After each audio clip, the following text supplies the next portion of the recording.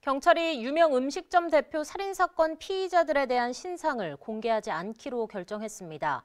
범행이 계획적이고 피해가 중대하지만 아직 수사가 진행되고 있고 남은 가족들에 대한 2차 피해를 고려했다는 설명입니다. 김경임 기자의 보도입니다.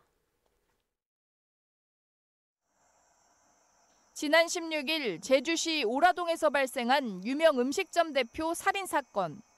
당초 피의자들의 진술과 달리 경찰 조사 과정에서 범행 후 갈아입을 옷을 미리 준비하거나 현관 비밀번호를 알아내기 위해 택배 기사로 위장해 피해자 집 앞에 CCTV를 설치하는 등 계획 범죄 정황이 속속 드러나면서 충격을 주고 있습니다. 이런 가운데 경찰이 피의자들에 대한 신상정보 공개 심의위원회를 열었습니다. 변호사와 경찰관 등 7명이 참여해 피의자들의 신상 공개 여부를 결정하는 겁니다.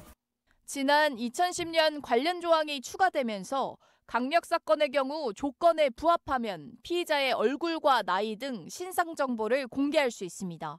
공개 요건은 범행 수법이 잔인하고 중대한 피해가 발생한 강력 사건이고 범행에 대한 충분한 증거와 국민 알 권리 보장 등 네 가지 요건에 모두 부합해야 합니다.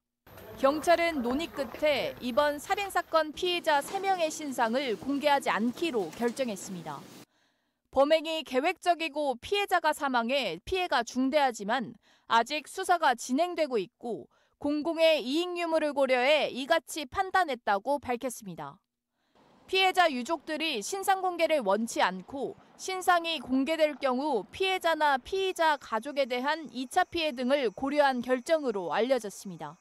경찰은 이번 사건 피의자들을 별도의 신상 공개 없이 내일 검찰에 송치할 예정입니다.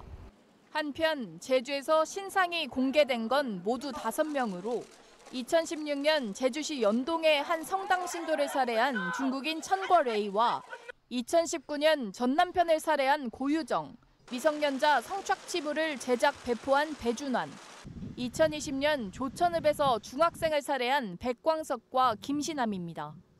KCTV 뉴스 김경임입니다.